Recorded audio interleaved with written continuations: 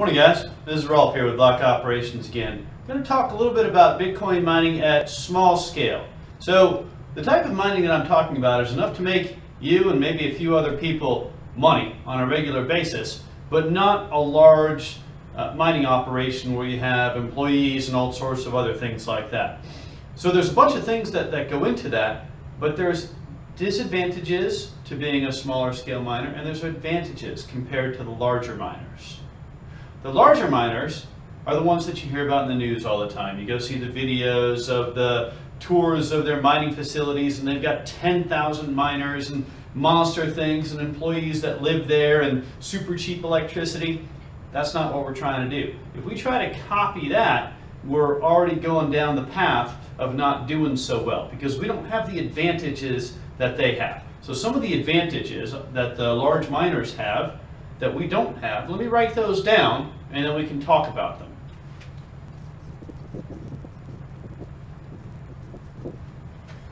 Okay, so some of the advantages that large miners have that me, as someone who has 200, 400, or 1,000 machines, does not have, um, they have investors. So they're going to have investors that can put in a bunch of money and get them a bunch of equipment up front when they need to.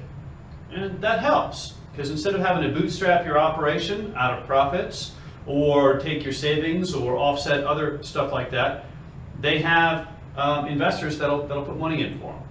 They've also got very cheap electricity. Once you start in most uh, places going above 200,000 kilowatt hours per month, you start to get into the inexpensive electricity rates. And that's on the order of two to three cents per kilowatt hour. I guess I've read that some places in China, they just get the overflow from the local uh, dam power plant. Maybe it's even less expensive than that. That type of rate is hard to get in the, the 200 unit and under uh, realm. So that's tough to match. They've also got scale that where they can hire employees. Once you start getting a differential between your incoming revenue and your uh, costs, you can pay for some, some employees. Now these advantages also turn into disadvantages for them. And let me talk about that as well.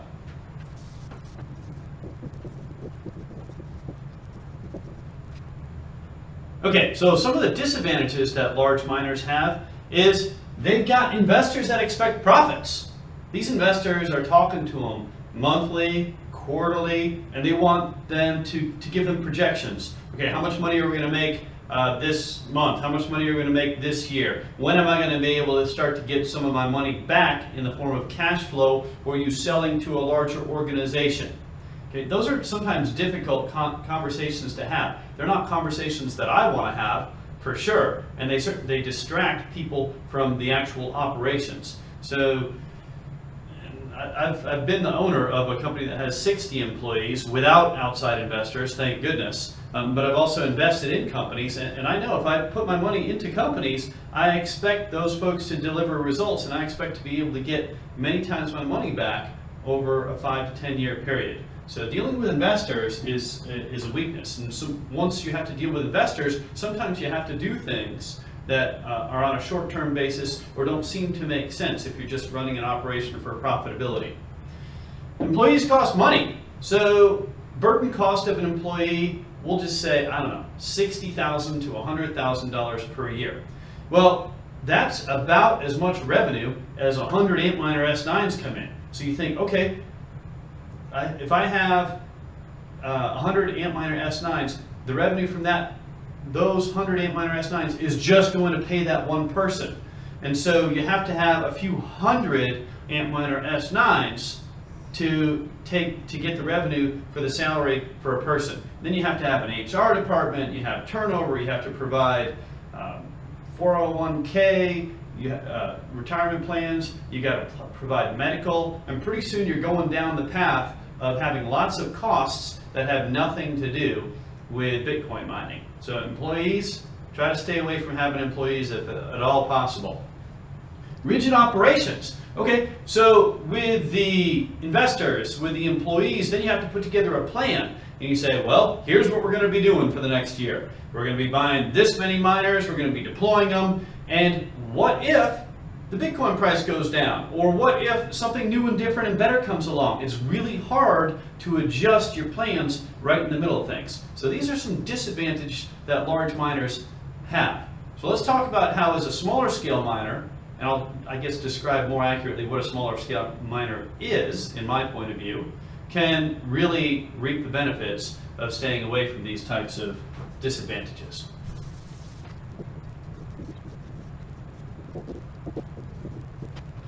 Okay, so to me, a small miner is someone that's running less than about 1,000 servers.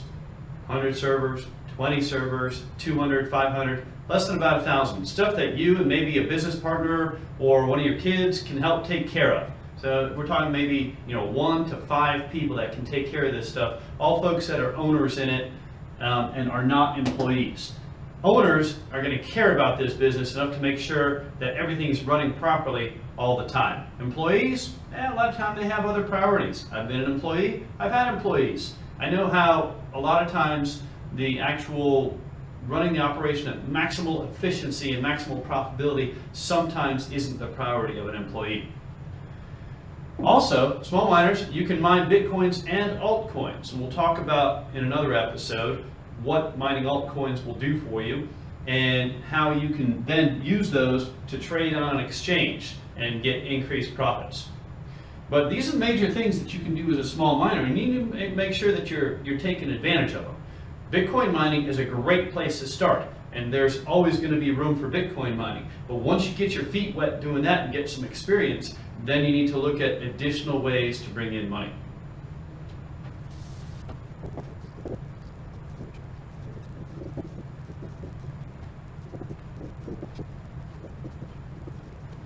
I was talking with my son as we were driving over here. My son's 14 years old. I get him on a video one of these times. We homeschool, um, and then so he goes to school a couple days a week, and then uh, the other days he helps me with uh, the mining. So we've been building GPU miners to be mining Zcash and Ethereum uh, and other things like that. We've been trying uh, different miners to be mining Dash and Scrypt. Right now, we, we tried uh, mining on the Scrypt miner Litecoin, but we're also mining Gulden. So we talked to, on the way over about some of the different skills that you've got to have as a small miner, above and beyond the obvious ones of understanding, uh, basic understanding of electricity. Well, I'll write those down. First off, you got to be able to troubleshoot. When something goes wrong, you can't call someone for help. You got to be able to figure out how to troubleshoot. Troubleshooting is a methodology that can be learned. You have uh, a given set of problems, and you figure out what are the possible uh, problems that can be causing this issue, and then you step through and eliminate those problems until you've identified the problem, and then you fix it. That's the basic troubleshooting methodology. You gotta be able to always refine and improve things. If there's a way to get a more efficient power supply in place, if there's a way to get a less expensive and more reliable data switch in place, uh, if you have a problem where you lose your internet connectivity, okay, well, bring in a second internet connection and have your firewall set up so that automatically flips over to it. Do you have the ability to access stuff from home, either on a secure shell command line, or can you VPN and take care of things, or do you have to drive into the to the uh, place where you're mining to take care of stuff? So always be refining and improving. Talk to other folks look at YouTube videos, read different things, always be figuring out how to get things better. Research for ideas and answers. You have to have the ability to go out and read. Uh, look at YouTube videos. The, the latest current information on the way people are doing things is not going to be in a book somewhere. It's not going to be in a course that you can take at your local community college. It's going to be people that are on the leading edge, that are willing to share information, uh, either in the forums I read through all sorts of different forums on Bitcoin Talk all the time. Uh, then there's Slack channels that I'm on. There's different forums for Litecoin, for Dash, for Zcash. There's all sorts, there's Reddit forums. There's a bunch of things that you have to go out there and figure out what's, what's going on. Uh, and then you have to keep your ear to the ground for what the different uh, coins and opportunities are. If you put everything into the Bitcoin basket, you might win big, but you might lose big too. You don't want to have everything in one basket and then possibly lose it all. You got to be diversified amongst a number of different activities that you're doing to make money. Uh, the ability to just try it. Don't be scared. Um, you know, I, I have no idea if Dash is worth mining or not. So I did the research. I found that there's two different ASIC miners out there. There's the PinIdea and the, the Baikal. I ordered a Baikal from China and I'm mining on it and I'm surprised by how low the power usage is and how decent and flexible the Baikal miner is uh, through being able to mine six different things um, and switch from different pools. So I might give NiceHash a try also with a flexible device like that. Maybe we're going to scale up on that, maybe not. And that goes to the next thing. Don't just come up with a plan and execute on that plan blindly. Start small, prototype, figure out what it is that you're doing, figure out if it's going to work or not, and then expand on it if it works, and quickly abandon it if it doesn't. Um, right now, the Litecoin miner that I bought, which is an A4 uh, InnoSilicon, it doesn't look like it's profitable. So I'm not going to be mining anything with Scrypt until there's a more profitable miner that comes out. I think Bitmain's coming out with their Antminer L3 soon. That should be profitable enough to mine different things with Scrypt. I'm not sure. I'm going to buy one, I'll give it a try, and if it works, I'll scale up. If it doesn't, I'll abandon it. For a while, I was mining Ethereum. Ethereum's gone down in price and the mining uh, pool has gone up, so I swung all my rigs, uh, GPU rigs, over to mining Zcash. Right now, that's the, the best thing to be mining. I'll be looking at other things to mine. I was looking at Monero, but uh, Monero's a little strange, so I'm, right now I'm mining Zcash. I put that onto my account at Poloniex. I put sell orders at a recent high point for Zcash to convert it to Bitcoin, and then I convert that Bitcoin into something else and hold on to it. So there's lots of different ways that you can make money as a small miner, but you got to have some basic skills. Now let's talk about some, uh, other than the, the business uh, and operational skills, let's talk about some of the technical skills that you're going to want to have or you're going to want to learn.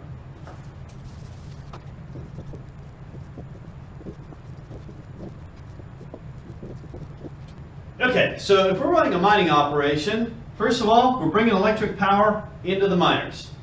Okay, uh, we're also bringing coolant in to cool the miners. Those miners are going to be getting information from the network, uh, from the from the mining pool. Then they're going to be sending information back to the network and back to the mining pool. You you need to have a basic understanding of how these different things work. Not that hard to learn um, and you can ratio things up, but um, you do want to work with professionals to figure out how much cooling am I going to need? How much airflow am I going to need? An Antminer S9, I think it's 220 cubic feet per minute. If we run 100 of them, we probably need about 22,000 cubic feet per minute at a basic to come in and replace the hot air that we're generating. Maybe more, maybe less, hot air expands. There's a lot of different factors that go into that. But that is a starting point. You can try that. Try it with 10.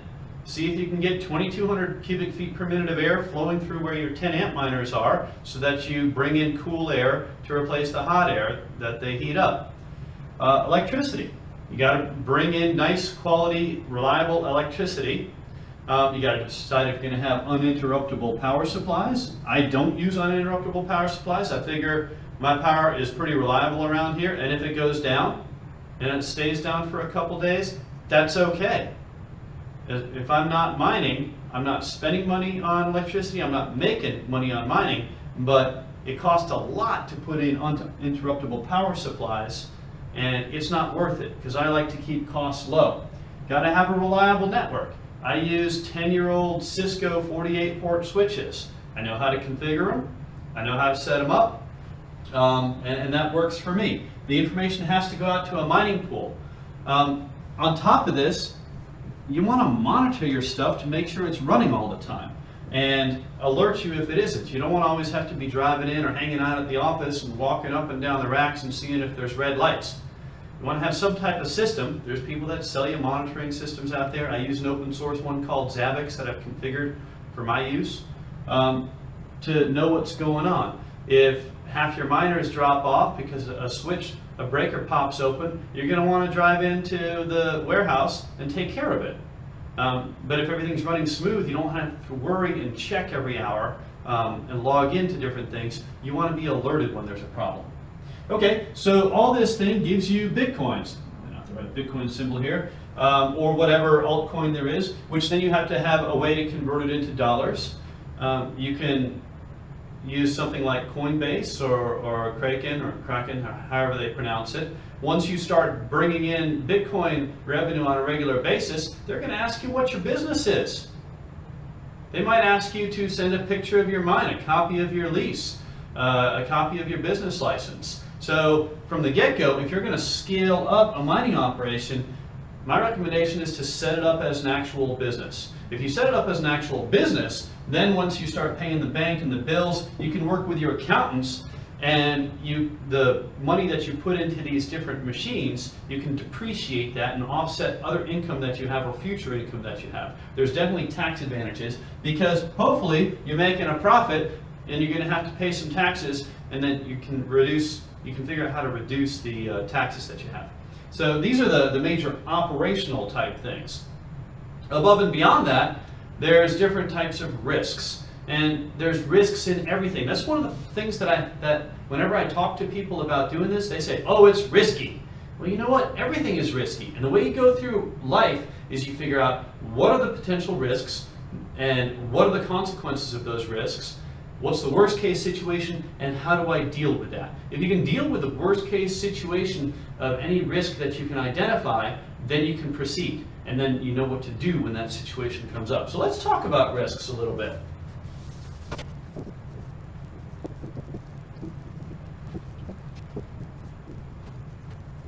So here's some of the risks that I think about running this type of operation.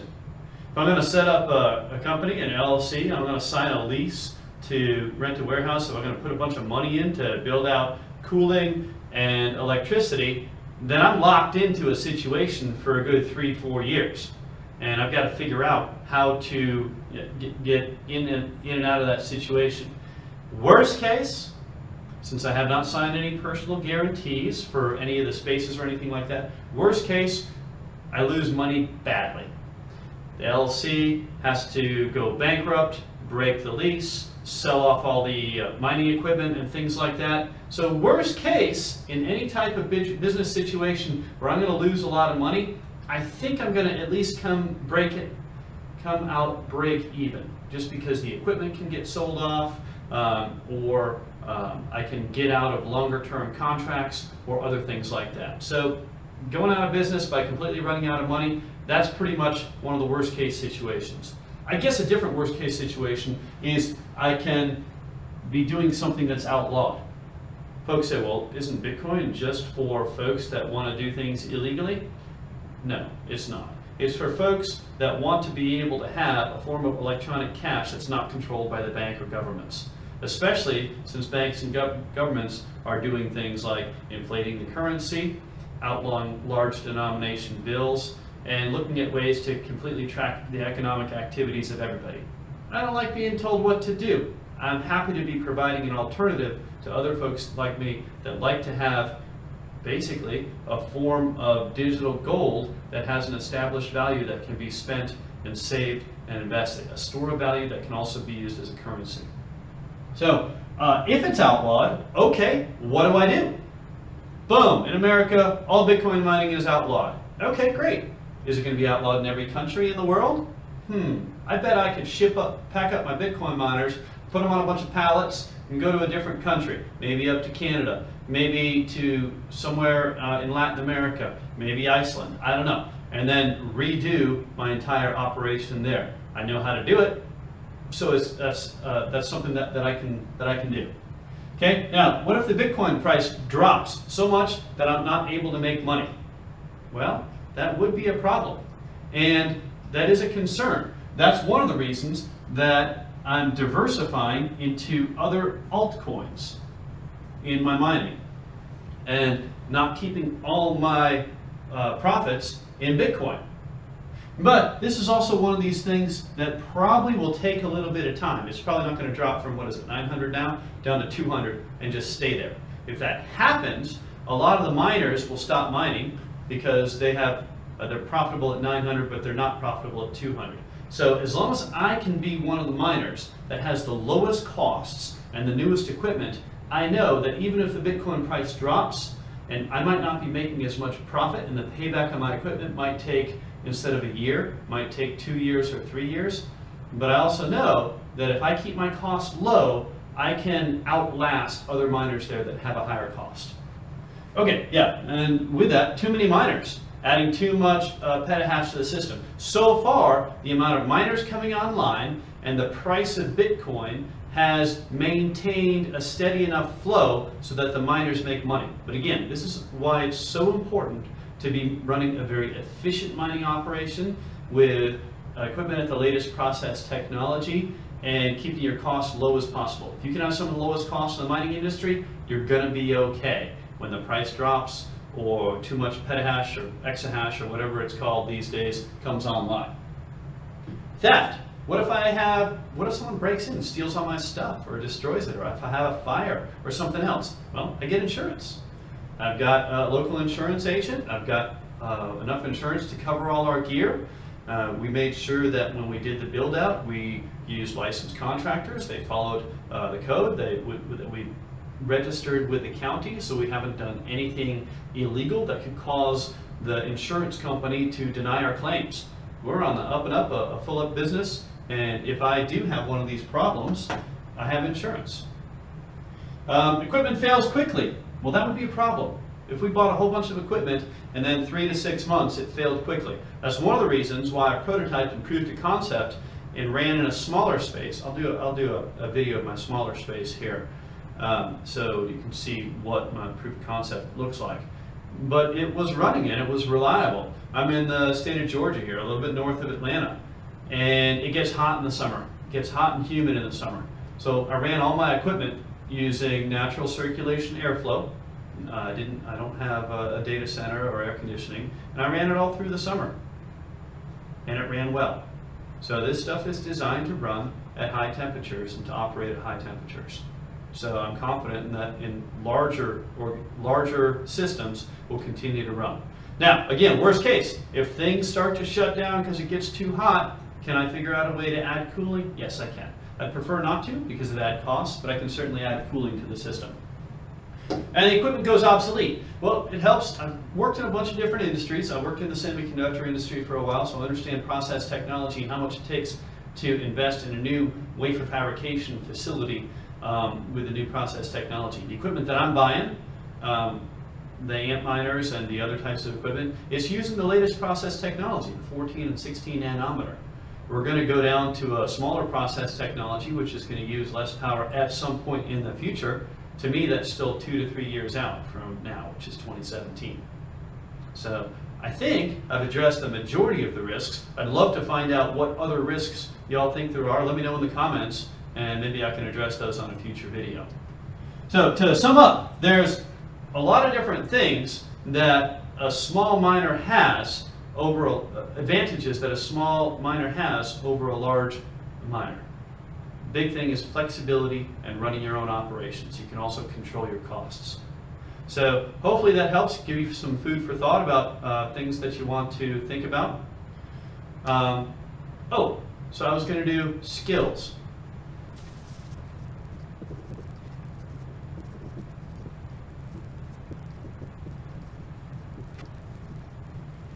Okay, there's some basic technical skills that you probably want to have to succeed at Bitcoin mining. It'd be great if you knew how to build a PC. Uh, GPU miners that have six graphic cards in them, uh, I've got instructions on my website how to put those together, all the parts you need, the complete bill of materials, um, how to put everything together, how to load the Linux operating system, and get it up and running, and then how to do some basic troubleshooting. If you can go through and, and, and learn how to do that, that would be a good skill to have. It would give you uh, the ability to um, do a bunch of different things.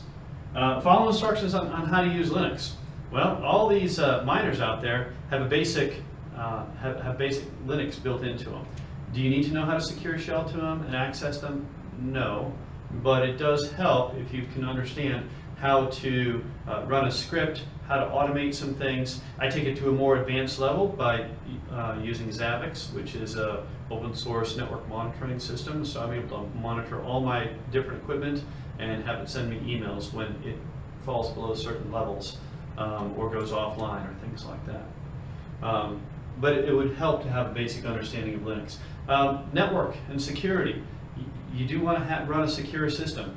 Um, so you can take advice on uh, what type of firewalls to set up and what type of data networking, and, but you also don't want to set up network loops. Networking these days is a lot easier than it was 15, 20 years ago.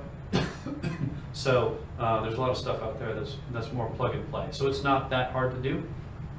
Um, airflow, cooling, electricity, you need to be able to talk to professionals um, and have a basic understanding of amps and volts and power and cubic feet per minute and tons of cooling. Again, these are things that you can learn. You can watch videos um, and, and do do stuff. And learn and use applications. So um, if you want to be storing your Bitcoin in a secure way, you got to learn how to use a hardware wallet and the applications that go with that. You got to be able to go online and access a mining pool. You have to be able to go into the graphical user interface of the different uh, mining machines and hook them up to a pool and monitor and make sure that things go well. Uh, you may want to do some A-B testing between different mining pools to figure out which one's paying you the most. Um, so there are different applications that you can learn. Is the skill set insurmountable to be able to run this type of stuff yourself? No, it's not. But I would recommend start small, learn a bunch of things when you're small, make mistakes when you're small, and then grow from there.